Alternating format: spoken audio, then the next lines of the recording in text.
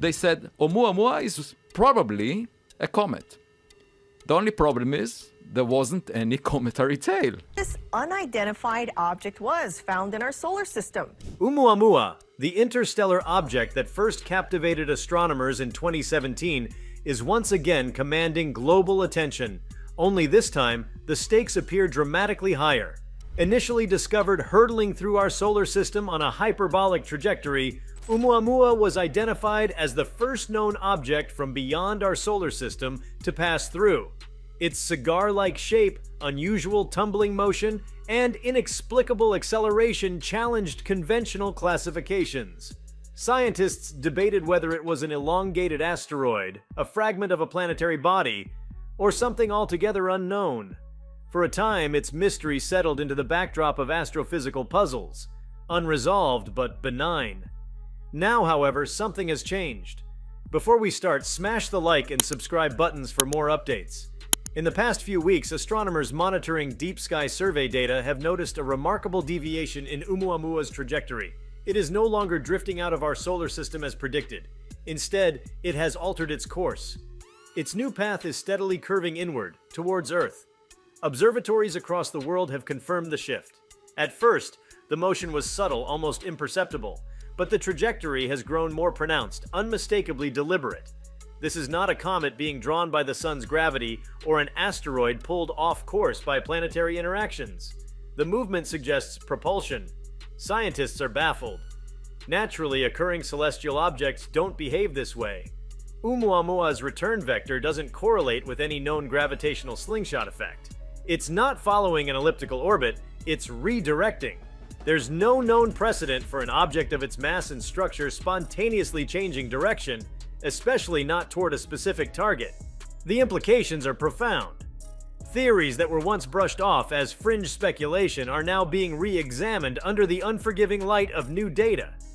Astrophysicists, cosmologists, and aerospace engineers are working in tandem to interpret the information pouring in from global and orbital telescopes. The surface of Oumuamua remains elusive.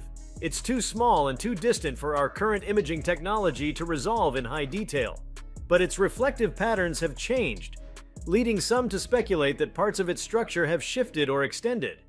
Could this indicate some form of transformation, possibly mechanical in nature? A structure unfolding or changing configuration mid-flight is not an attribute of any known asteroid or cometary body.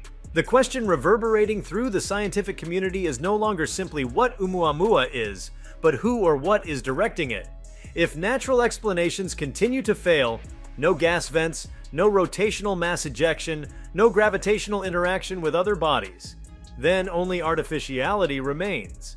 That possibility carries with it the weight of everything humanity has wondered about its place in the cosmos. If Oumuamua is not a rock, then it might be a machine. And if it's a machine, then someone built it. The psychological shift that comes with that realization is already rippling through the minds of those closest to the data. Imagine watching the first Voyager probes exit the heliopause, sending back whispers from the edges of interstellar space.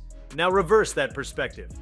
Oumuamua could be the Voyager of another civilization, a drifting relic or an intentional envoy. And now it's not just passing through, it's returning.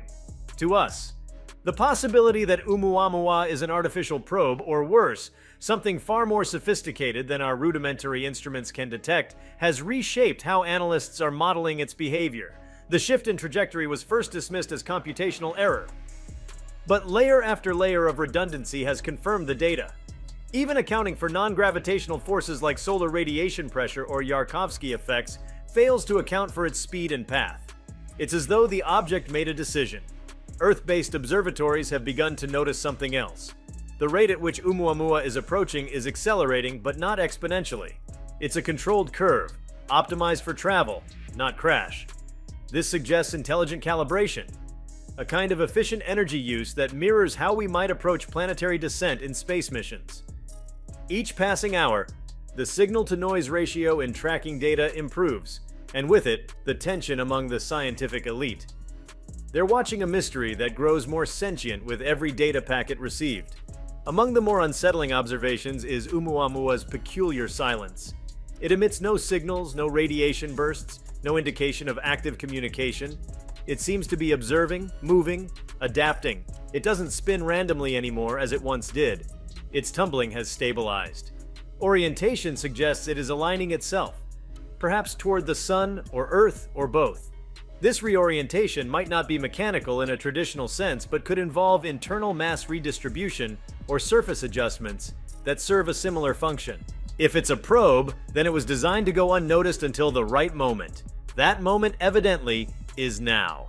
The silence could be strategic, waiting for proximity before initiating interaction, or simply not recognizing Earth based technology as something worth communicating with. Alternatively, it could be broken, abandoned long ago, its return a programmed behavior, a dead script executing across millennia. Even that possibility is staggering. A derelict messenger from another star, drifting intelligently toward our world. As agencies scramble to model potential contact scenarios, a sense of collective unease is building. Governments have been briefed behind closed doors. High altitude balloons, orbital satellites, and long range radars have been repositioned for full spectrum monitoring. This is not a drill, not a routine near Earth object pass. International collaboration has surged, but so has secrecy. The knowledge that something is approaching Earth, a thing that changed course to do so, is too volatile to handle without caution. Religious leaders, sociologists, psychologists, and military strategists are now part of the discussion. If Oumuamua reveals itself to be an artifact of alien origin, the consequences will ripple through every level of society. Cultural paradigms will fracture and reform. Belief systems may shift under the gravity of undeniable proof. The understanding that we are not alone would redefine everything from science to philosophy. But those revelations may only be the beginning. The fact that Oumuamua is coming toward Earth suggests more than curiosity. If this is reconnaissance, then perhaps we are not the first world it has visited. Perhaps we are simply the next. Or maybe we are the destination it was always meant to reach, awakened by some interstellar proximity trigger or ancient navigation logic. That possibility introduces timelines that extend far beyond human history, across epochs, across voids. Still, there's the question of why. Why now? Why Earth? Are we emitting something detectable? Radio waves, electromagnetic emissions, signatures of carbon based life that drew it back like a beacon? Or is Earth part of a pre established route, a point of interest on some ancient star map? It's worth noting that since the 20th century, Earth has been broadcasting its presence unintentionally across space through television, radar, and other transmissions. What if Oumuamua was always listening, and now it's coming to respond? The implications of contact, assuming that's what this leads to, are staggering. Would it come bearing knowledge?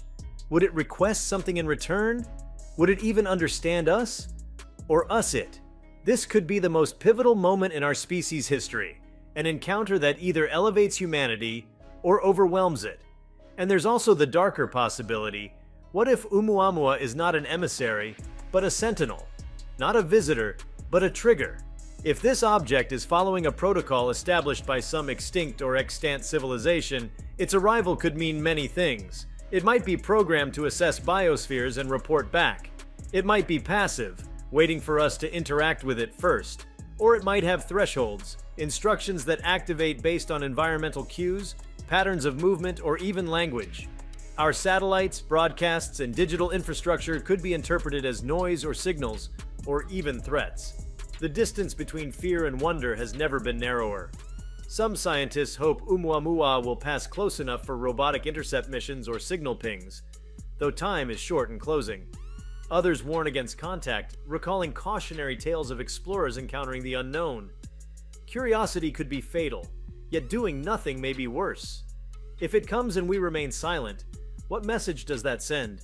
Even the most skeptical researchers now admit that Oumuamua has defied every category. It is no longer an anomaly on a chart, no longer an errant rock. It is acting, it is choosing, and it is coming.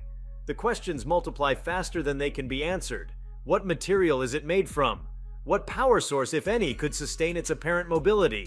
What drives its intent, if it has one? We do not know if Oumuamua will enter orbit, land, or pass by again. We do not know if it will open, signal, transform, or remain forever silent. But it is approaching, and its approach is deliberate. In the absence of precedent, we are left with preparation and speculation. The skies are no longer silent. A messenger from the stars has turned its gaze upon our world. What comes next may redefine the universe for us all. If you liked this video, please give it a like and subscribe to our channel.